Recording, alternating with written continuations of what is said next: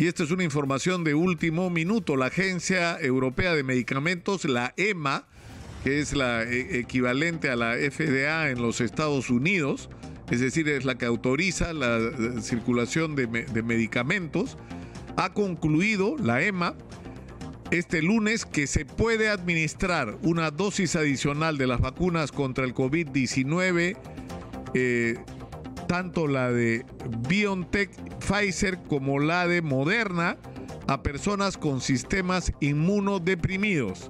El momento de la inyección deberá ser al menos 28 días después de la segunda dosis.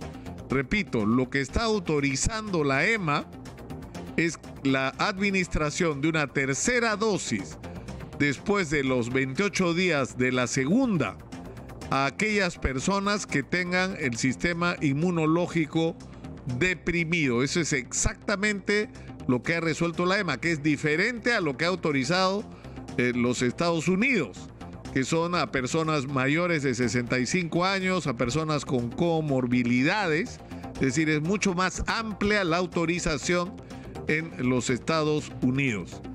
Eh, y al igual que se incluye al, personal, eh, por ejemplo, de salud, es decir, a las personas que están altamente expuestas o que tienen que enfrentar altas cargas virales por las condiciones de su trabajo, como los médicos, enfermeras y trabajadores de la salud.